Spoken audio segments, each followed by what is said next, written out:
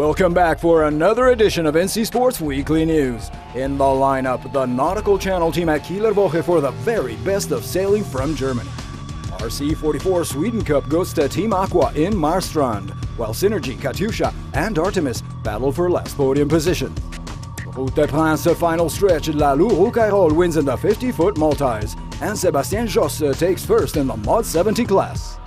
Watch out, Parko is back with a perfect 20 at the Oakley Pro in Bali as this record-breaking ASP season really heats up.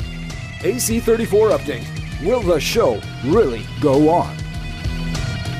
Plunge into the action with NC Sports.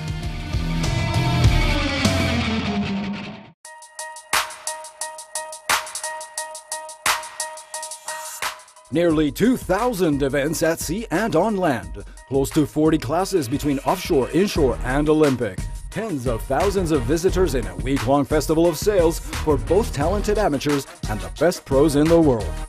This is Kieler Woche 2013, an event that is the very symbol of the long standing German nautical tradition. It all started with a welcome race of records here in Kiel as the 100 footer Esimit 2, helmed by German sailing legend Jochen Schumann and Danish pro Jes Gram-Hansen on the SAP Extreme 40 catamaran, completed the course in just over two hours and set new reference times both in the monohulls and in the multis. At the event's main matchup in the eight Olympic classes on the water, local superstar Philipp Buhl successfully defended his 2012 title in the lasers by winning the much awaited battle against Brazil's Robert Scheidt. Dockside fans in Kiel with TV audiences and online viewers from all over the world got an in-depth and close-up view of the races this year, as Kieler Woche International TV and SAP Analytics provided a unique window on the event, enriched by advanced virtual tracking complete with performance statistics. Stay tuned for the upcoming NC Sports editions of Top Story and Buzz for full coverage of Kieler Woche 2013 with special correspondent Lucia Metzbauer and the Nautical Channel team. Hello NC Sports fans. Join me Lucia Metzbauer for a special report on Kieler Woche 2013, Germany's greatest festivals of sails.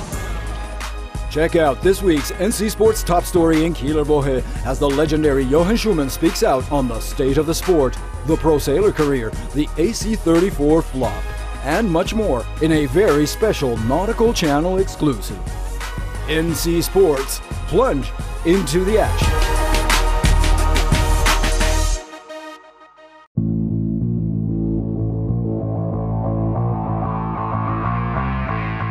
Banking on nine podium placements in 10 regattas, Team Aqua dominated the fleet races at the RC44 Sweden Cup in Marstrand.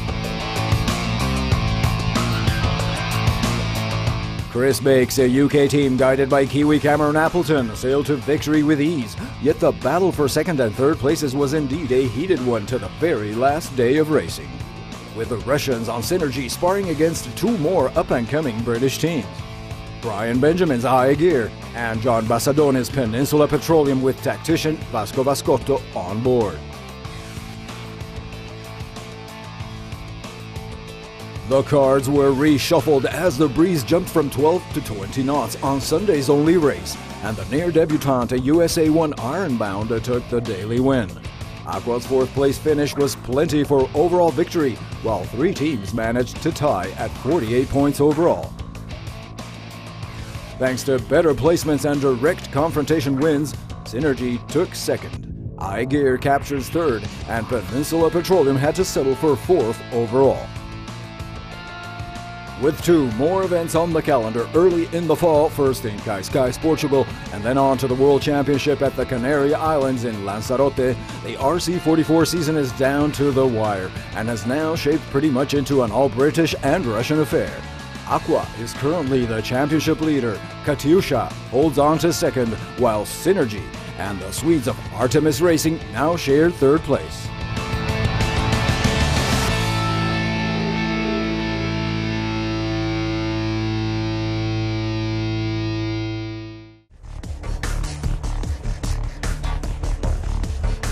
Sébastien Josse with the Edmond de Rothschild Mod 70 crew and Lalou Roucayrol with his 50-foot Arkema Jean Aquitaine team win this very first edition of La Route des Princes. It was a very special round Europe race exclusively for the multi-hulls with both inshore racing and offshore regattas, only for the very best on the circuit.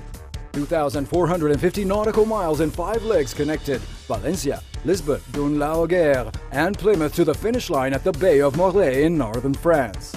Josse's victory on points was built through complete domination of the inshore events and thanks to a consistent performance offshore, including the first place in this final rush across the English Channel.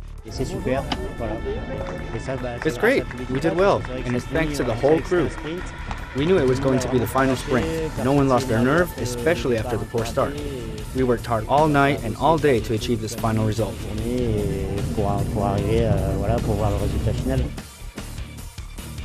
A surprise Lalou Roucayrol on a still developing multi-50 also clinched the last leg and took the overall win in the 50-footers by a scant two and a half point margin, mostly thanks to a series of valuable bonus marks captured on each leg.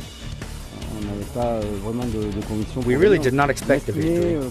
We did consider perhaps a win in a single leg, but then we took home the overall race, which is tops of course, especially for the entire crew that worked so hard. So it's a complete joy. Ouais, un bonheur, un bonheur complet. Quoi.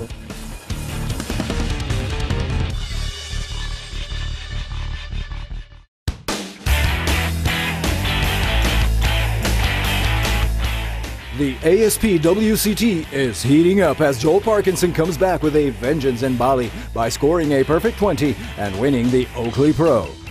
The Aussie reigning champion finally responded in kind, equaling Kelly Slater's perfect 20 at the Volcom Fiji just two weeks before. Bali was made for breaking records with the top seeded in full form. It started with John John Florence getting his 10 in what could be one of the highest airs in surfing history. I was just, I like, I don't know, I was like in the air and then I saw the bottom and everything just happened so fast and I just like landed perfect and um, I think I claimed it super hard, but I mean, I was super stoked. Trailing for the first part of the season, Parko had to respond on the Bali surf, and so he did defeating Tahiti's Michel Bourez in a tight final. Yet the two consecutive tens scored in round five sent the loudest message to the competition. Joel Parkinson is back. That was incredible. That was just it was just like free surf, you know. It, doesn't really feel like an event, you know. It feels like you just it's so enjoyable. It just uh, it was a 35 minute heat. I was just like, I don't want this to end. It's just you know there was more waves out there to be had that were just you know tens and even 12s. To get two in, in 20 minutes like that was pretty, it's amazing. Defeated in the last round by a super hot CJ Hobgood, Bali didn't fare beyond a fifth place for Kelly Slater, still bagging valuable points to stay in top contention. You know, I was trying to go first. I mean, I was thinking I was going out there looking for barrels, and I kind of was for the first half, and then I finally realized like it's not really a barrel game now; it's just a turn game, and you know, CJ's that nine that he had just had the perfect speed and shape to it. You know, he got way ahead of me and I couldn't catch back up. World leadership was indeed brief following the historic Fiji Pro. Slater has already been set back to number two in the world ranking by Mick Fanning, with a consistent fifth place finish here in Bali. Parkinson jumps from seventh to third place. Jordy Smith clings on to fourth, and Taj Burrows keeps contact now, ranking fifth overall. Will this turn into another year of Parkinson versus Slater?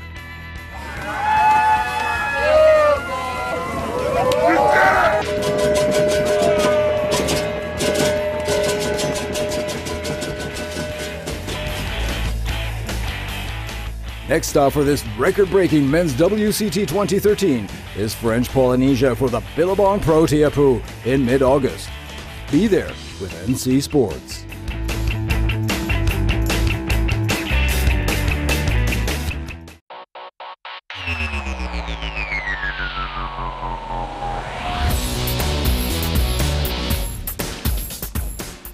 Once again, the America's Cup awaits judgment. In what has become perhaps the most troubled edition in its long history, the 34th challenge appears to have finally begun.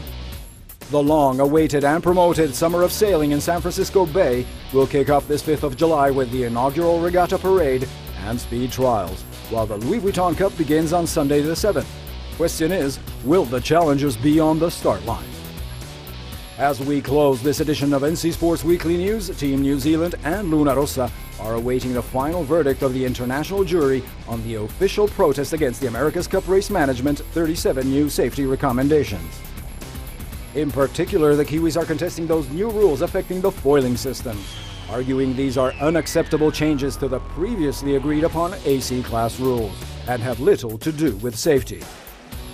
Furthermore, these modifications are considered as an attempt to hamper the challenge's progress and to legalize the configuration adopted by the American Defender Oracle Racing, which envisions trim tabs for the foil elevator.